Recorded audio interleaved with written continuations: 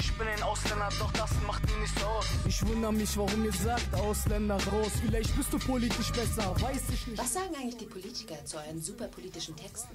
Du hast die Macht Reputation ist zu Gast bei Burkhard Dregger, dem integrationspolitischen Sprecher der CDU.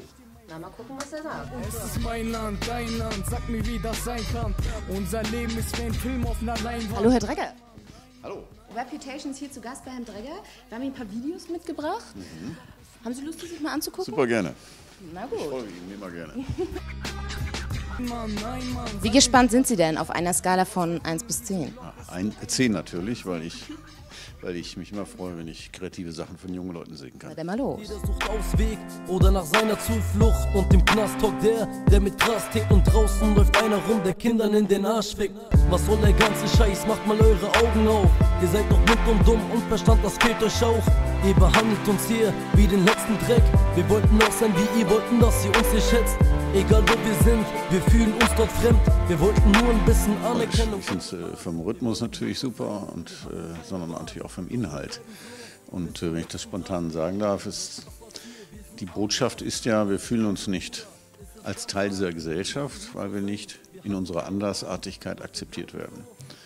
Und äh, ich glaube, das ist etwas, was sehr verbreitet ist an Gefühl und das ist etwas, was wir sehr ernst nehmen müssen. Es muss auch den andersartigen Menschen klar werden, dass das ihr Land ist und dass sie hier willkommen sind.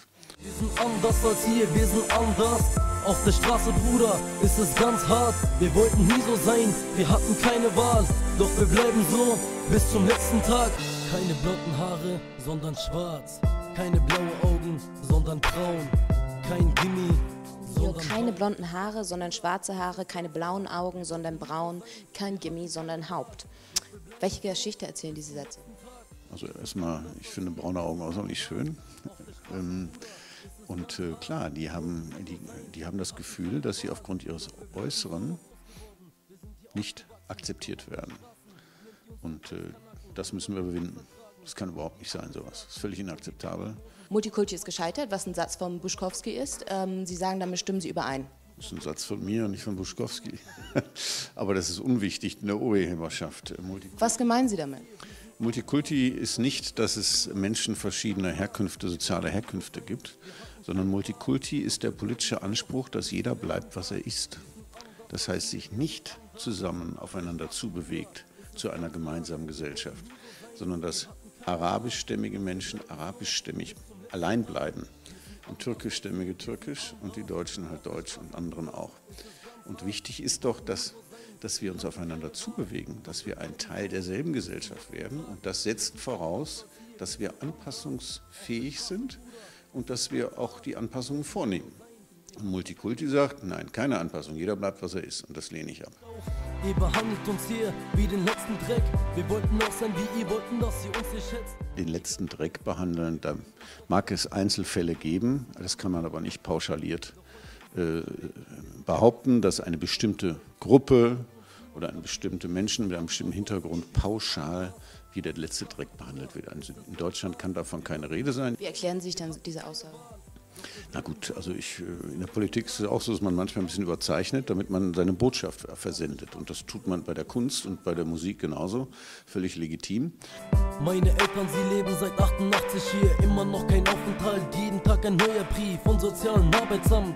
Denk darüber nach und sag mir, wer ist schuld daran? Wenn jemand seit 24 Jahren in Deutschland lebt und immer nur noch geduldet wird, wie kann man von so einem Menschen Integration erwarten? Der fühlt sich doch klar ausgegrenzt, oder? Also das ist ein berechtigtes Anliegen in der Tat. Was ist mit den Menschen, die illegal eingereist sind, häufig auch unter Verschleierung ihrer Identität? Die vernichten beispielsweise ihre Passdokumente, damit wir nicht herausfinden können, aus welchen Staaten sie kommen, damit wir nicht in der Lage sind, sie zurückzuführen. Es gibt also Menschen, keine Einzelfälle, die unter Verschleierung ihrer Identität hier einreisen, in der Hoffnung, hier bleiben zu können. Und da wir ihre Identität nicht kennen, können wir sie auch nicht zurückweisen. Die haben einen Duldungsstatus. Und äh, ich persönlich bin der Auffassung, wir müssen Regelungen finden, dass wenn diese Menschen wirklich Integrationsleistungen erbringen, ich fordere, dass die Menschen sich anstrengen, dass sie etwas leisten und dass sie bereit sind, ihre Talente auch zu entwickeln. Sie müssen sich mal vorstellen, wir leben in einem der schönsten Länder mit den meisten Chancen für junge Menschen. Und das setzt auch voraus, dass man die Chancen annimmt. Dass man sich nicht in seine Schmollecke zurückzieht und immer nur sagt, ach, ich werde sowieso nicht angenommen. Dann kann ich auch auf Hartz IV gehen oder mich verabschieden. Das ist keine Alternative. Sondern ich erwarte von jungen, jedem jungen Menschen, dass er etwas leistet, dass er sich anstrengt, dass er es anstrebt, auch wirtschaftlich erfolgreich zu sein, damit er sich und seine Familie unterhalten kann und sich nicht in die Netze der sozialen Gesellschaft begibt. Äh, mal eine bisschen andere Frage. Ähm, stellen Sie sich mal vor, Sie wären ein, ein Jugendlicher, 15 Jahre alt, mit Migrationshintergrund, Sie leben in Neukölln. Wie würden Sie sich integrieren? Was würden Sie machen? Ich habe dann hoffentlich Eltern oder Onkels, die mich auch an die Ohren nehmen und mir den Marsch blasen. So, jetzt. Äh, Merto, dein Land, mein Land. Mal gucken, wie sie finden. Sorry, tut mir leid, ich musste irgendwie das raus sagen. Denn meine Pläne, die ich machen wollte, sind fehlgeschlagen. Ach, was bei euch ist doch alles nur bunter. Doch eins sage ich dir, mein Viertel geht nie unter. Es ist mein Land, dein Land, sag mir, wie das sein kann. Unser Leben ist wie ein Film auf einer Leinwand. Nein, Mann, nein, Mann, sag mir, wie das sein kann. Die Verzweiflung in diesem Block ist nur eins. Es ist mein Land. Was ist denn mein Land? Und ist es meins oder ist es deins? Ich würde mich freuen, wenn er in zwei Jahren sagen könnte, es ist unser Land. Sie haben auch in einem Interview gesagt, wir wollen, dass alle integrationswilligen Zuwanderer treu deutsche Staatsbürger werden. Was macht denn einen treuen deutschen Staatsbürger aus? Ja, das ist ein Mensch, der die Werte dieses Landes teilt. Das sind die Werte der Demokratie, das heißt der Freiheitsrechte, der Gleichheitsrechte, der Gleichberechtigung von Mann und Frau, äh, die Anerkennung, dass die Mehrheit regiert und die Minderheit geschützt wird, ähm, die demokratische Ordnung, ähm, auch das, äh, wie wir miteinander umgehen, das ist etwas, was einen treuen deutschen Staatsbürger ausmacht. Und Wer ist denn Deutsch sprechen. Ich bin ein Ausländer, doch das macht ihn nicht so aus. Ich wundere mich, warum ihr sagt, Ausländer raus. Vielleicht bist du politisch besser, weiß ich nicht. Doch wenn ein Ali vor dir steht, hast du auf einmal Schweigepflicht. Deutschland schafft sich ab.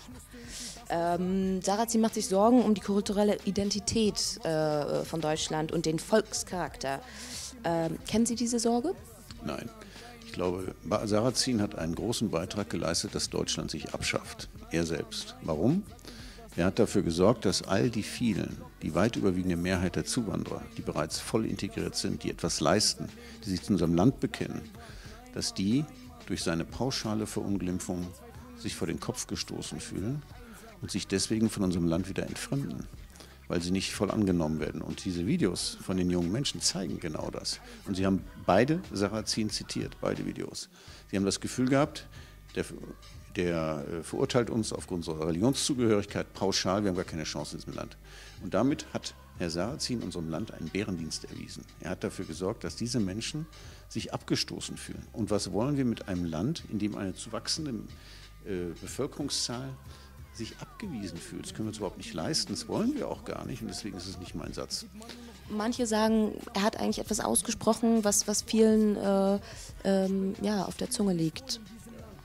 Ja, ich kann Ihnen das bestätigen. Auch in meinem Wahlkreis, in dem es auch viele tolle Zuwanderer gibt, gibt es auch ganz viele Menschen, die parallel zu den Zuwanderern leben und damit nichts zu tun haben wollen, die sehr skeptisch sind gegenüber Zuwanderern die projizieren immer einzelne negative Erfahrungen, die sie gehabt haben. Pöbeleien U-Bahnen oder sagen wir mal aufregende Presseberichte über Sozialhilfemissbrauch projizieren sie auf alle. Und das ist das äh, Schädliche. Wo treffen Sie auf Jugendliche? Suchen Sie den Kontakt oder ich meine hier in Charlottenburg? Ähm ja, mein Wahlkreis ist Reinickendorf Ost.